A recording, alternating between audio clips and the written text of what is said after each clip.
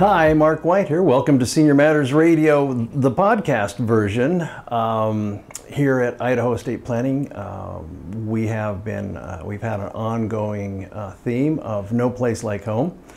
Uh, it, this arose particularly because of the COVID issues and people finding it a little bit scary uh, to move out of their own homes. Um, those of you that were concerned about moving out of your own homes We've talked a little bit about how scary it is for your kids and others uh, that you are still in your uh, own home.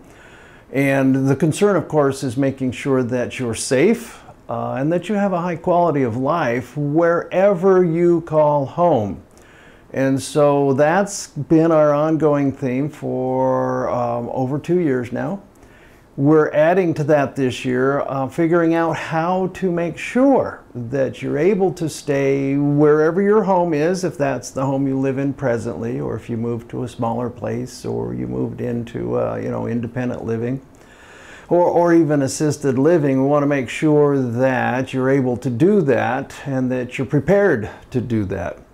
And so we've started off this year talking about your advisors, your, your team, if you will, your personal board of advisors. Um, we, we called it like your rope team. Um, if you do climbing, um, you need a rope team. Make sure that you stay safe. And so we've been talking about that. This morning I had breakfast with friends of mine who uh, parents are moving uh, to Boise from out of town. And the kids are realizing there's a number of things that need to be done to get mom and dad in a place where they're safe uh, and comfortable and that they have a you know high quality of life. And the list of things just really seems you know high. There are a lot of things that need to be taken care of. Um, for example, there's the financial end. Can I afford to be at home can I afford at the time comes to bring in a little bit of help?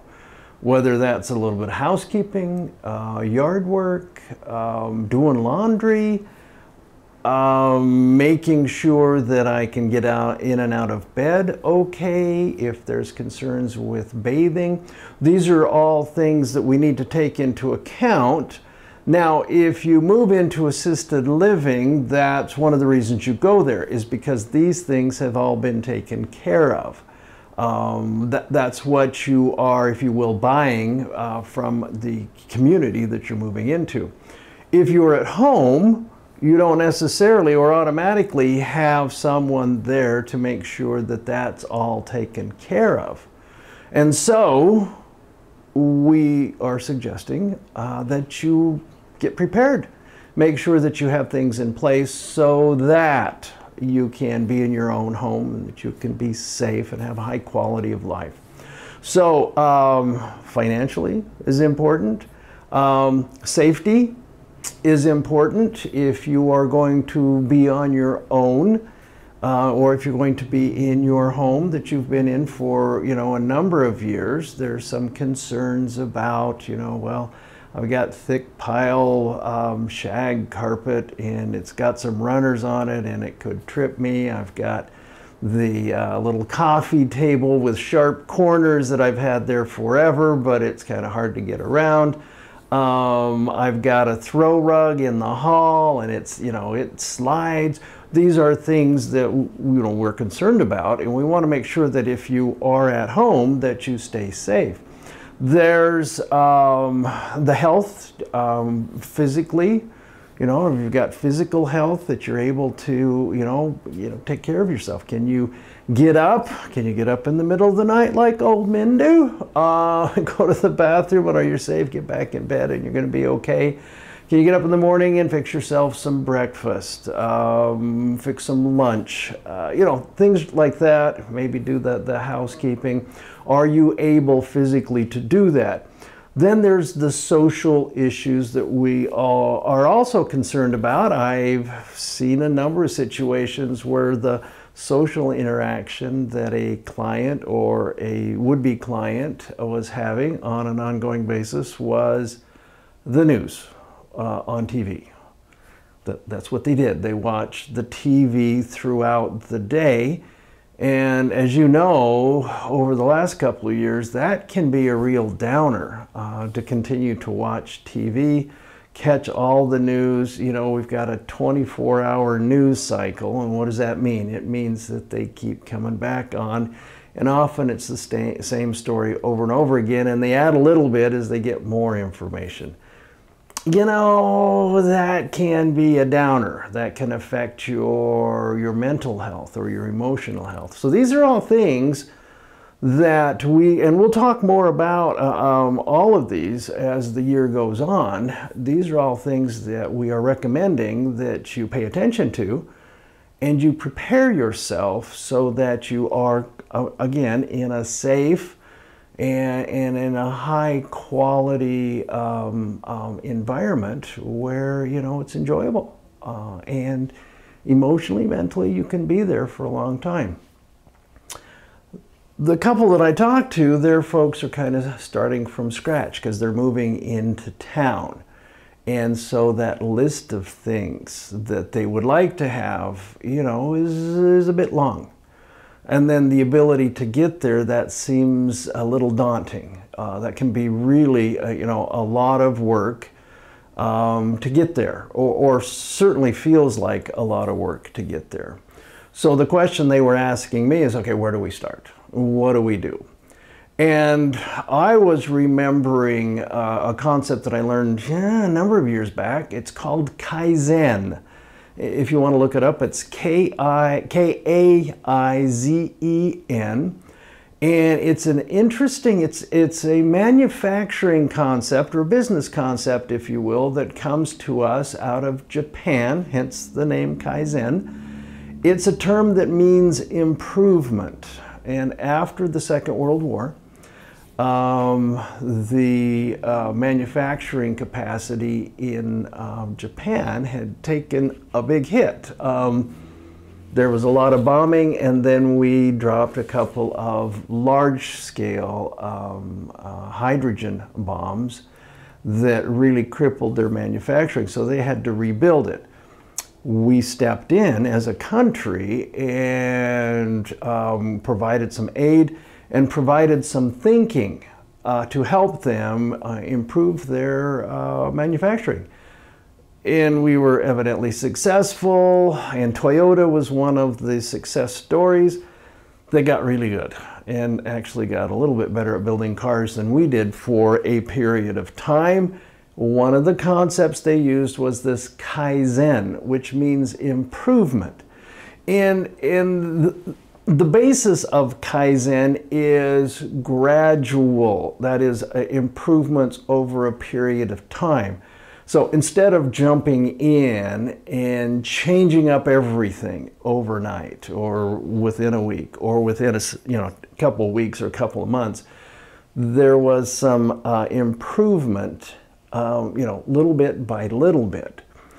And that was my first thought when I was visiting with these friends this morning is, okay, okay, okay, let's, let's not jump into this and try to eat the whole elephant this morning, because uh, when you can't, and two, uh, it'll wear you out. Uh, you will not have the um, ability physically, emotionally to do that. So can we break down the steps and then you know, take a little bit of time, whether that's daily, whether that's weekly, and, you know, get things lined out. And the answer, of course, is yes.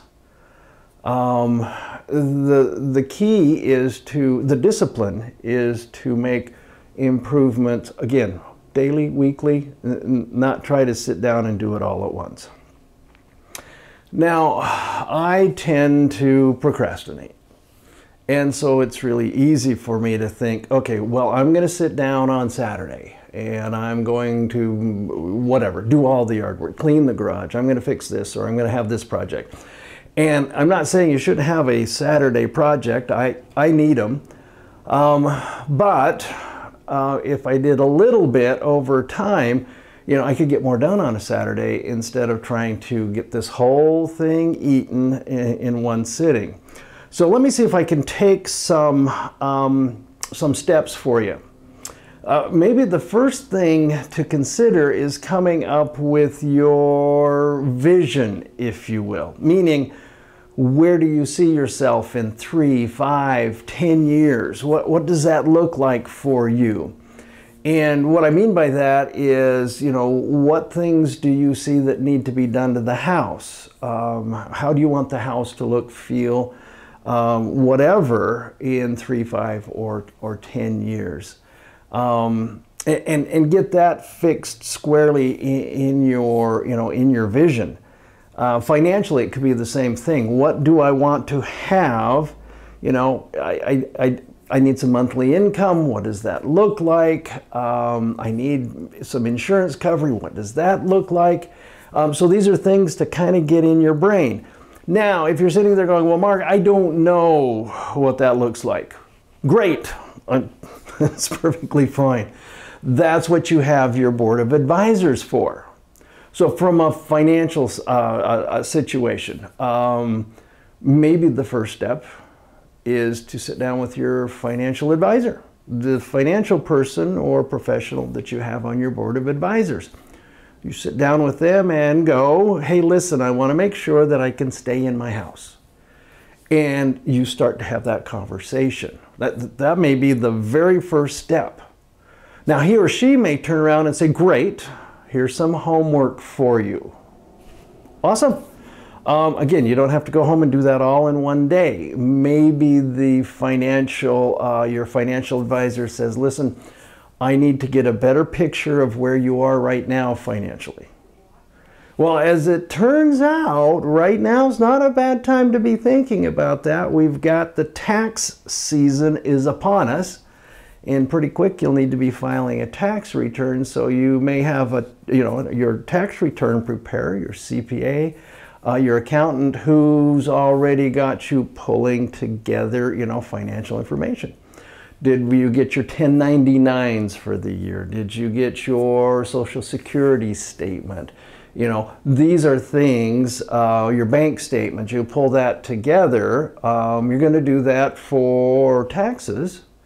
So that might not be too hard to pull that together for your financial advisor and sit down and say, okay, let's have that conversation.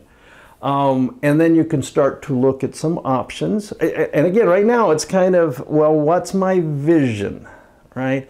If you came in and sat down with me, and legally that's another one of your advisors, if you came and sat down with me, that's what I would prod a little bit and go, okay, so what are you thinking? What does this look like for you? What does a quality environment look like to you? What does safety look like to you? What does a good social environment look like to you? And have that conversation, right?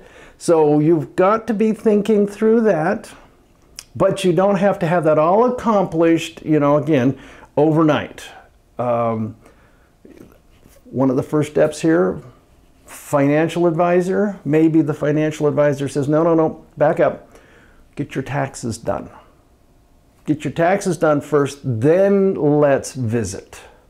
And you can bring in your, you know, your tax information with your financial information. We can sit down, we can, we can begin that conversation.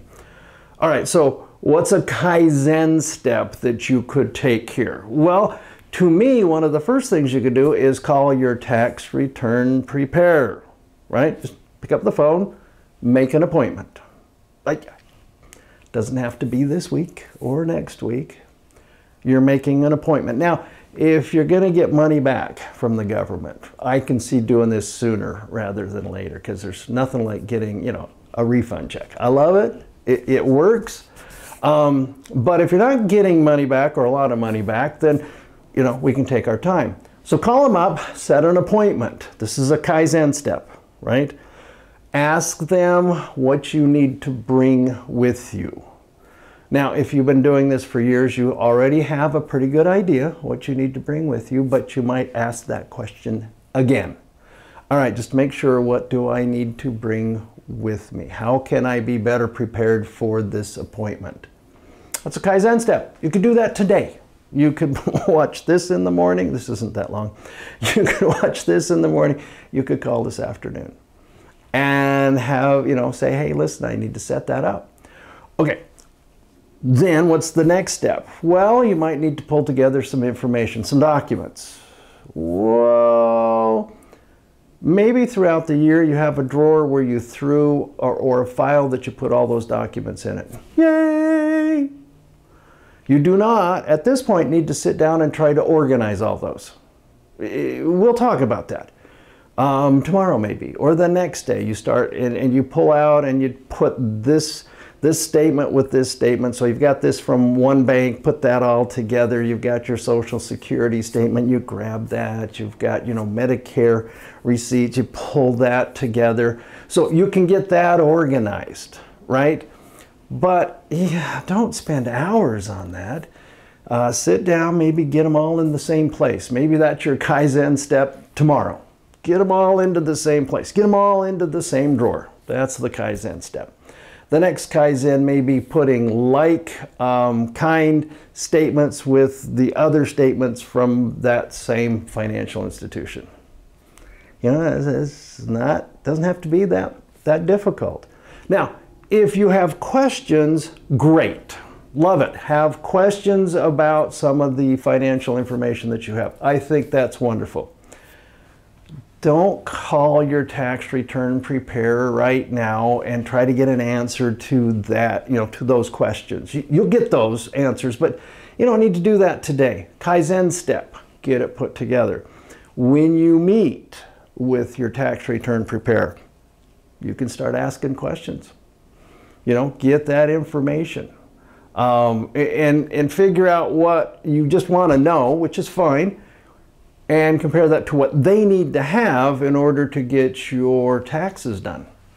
Because that's kind of the game here is get the taxes done and hopefully we get a refund. Or hopefully at least you don't have to pay, but get that all put together. Okay, so that's, that's a Kaizen step.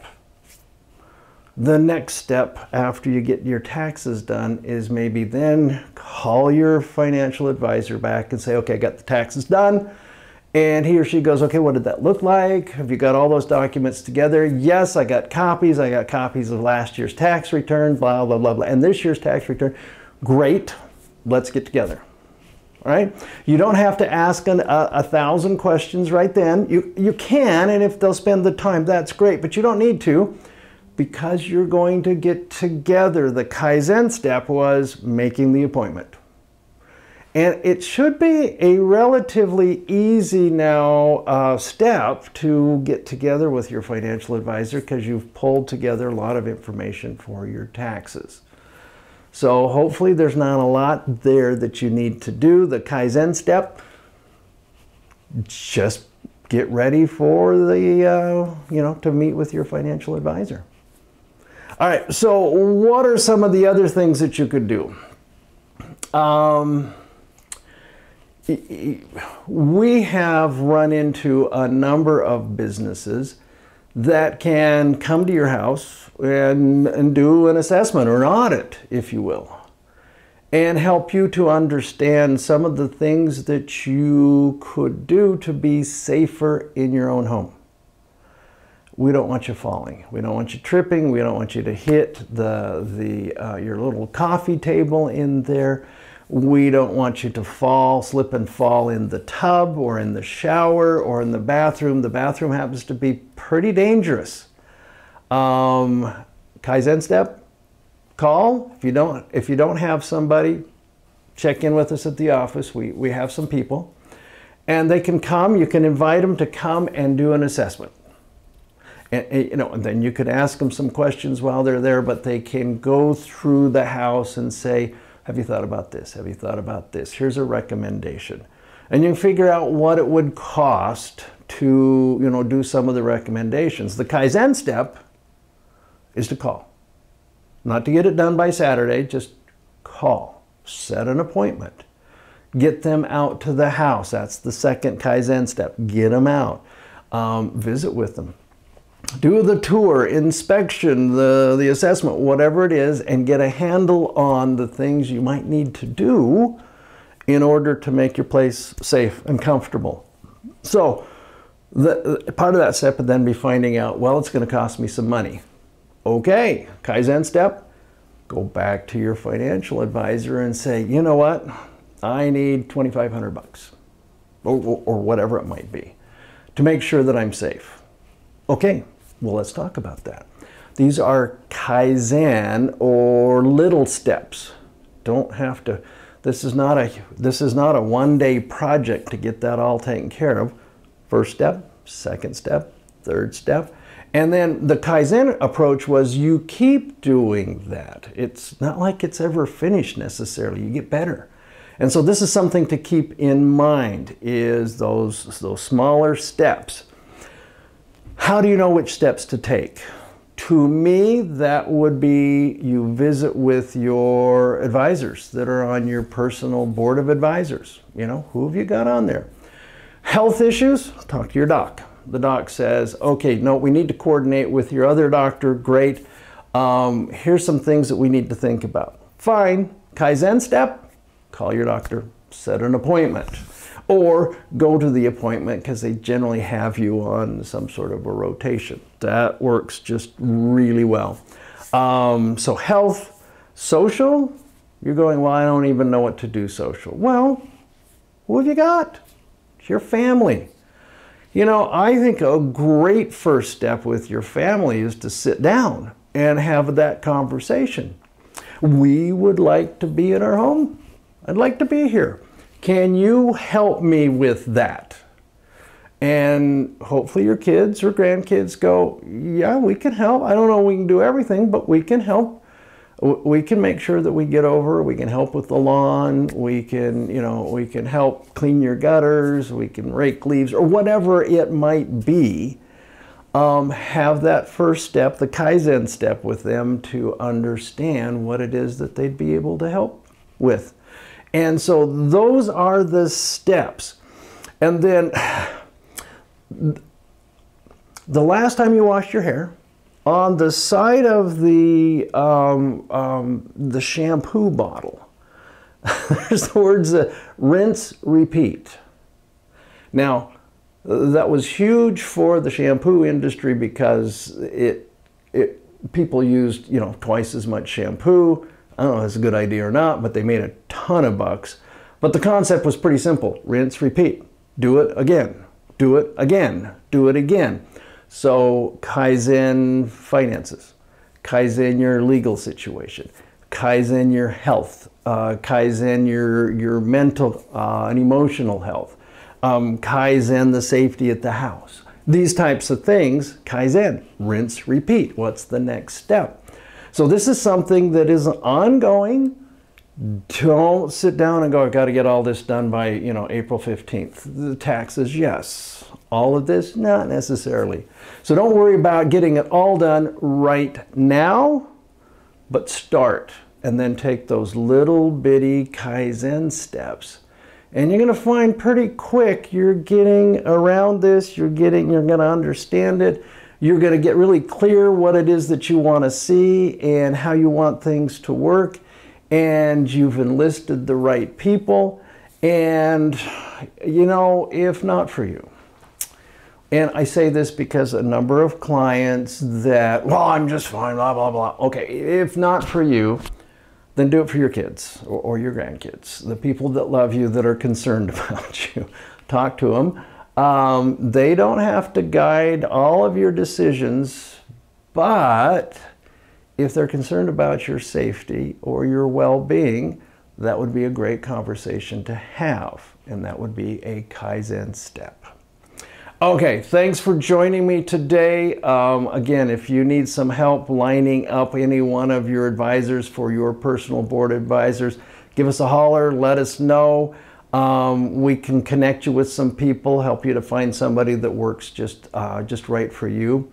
Um, in the meantime, stay safe, stay, stay well, um, and treat yourself well. You deserve it. Take care.